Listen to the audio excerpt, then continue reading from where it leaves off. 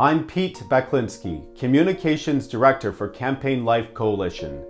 A 34 year old Ontario woman who underwent top surgery and hormone injections to make herself look like a man is now suing the medical providers who provided her with gender reassignment surgeries.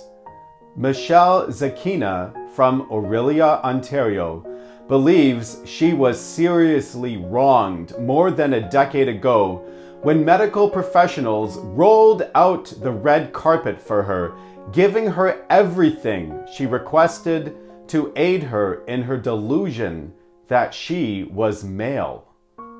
Here's Michelle in her own words about what happened and why she's suing the health professionals who facilitated her medical transition.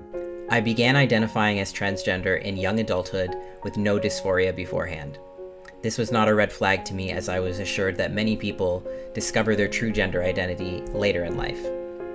Less than a year after coming out to myself, I was prescribed synthetic testosterone, which permanently virilized my voice and appearance.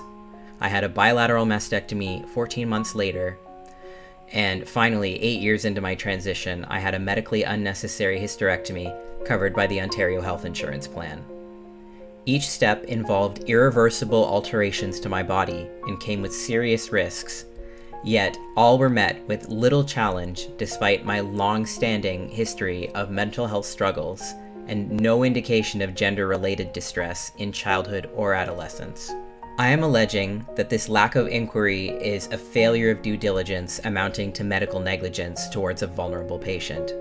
I will have to live with the effects of this so called treatment for the rest of my life.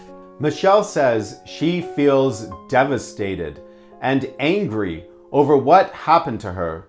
She says, quote, some days the pain of what I've done to myself is overwhelming. I cry and I cannot stop. Other days I'm angry, end quote.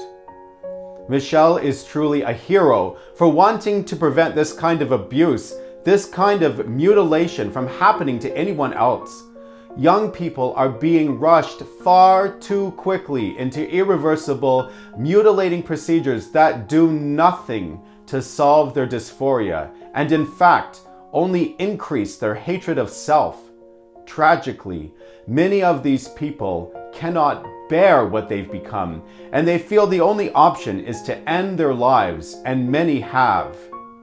In response to the growing devastation caused by transgenderism, especially among so many young people, CLC has launched a petition to the Prime Minister and to all the premiers of Canada demanding that they ban the practice of mutilating and castrating children who struggle with gender dysphoria Trying to change a child's God given sex is not only misguided, but it's destructive and immoral.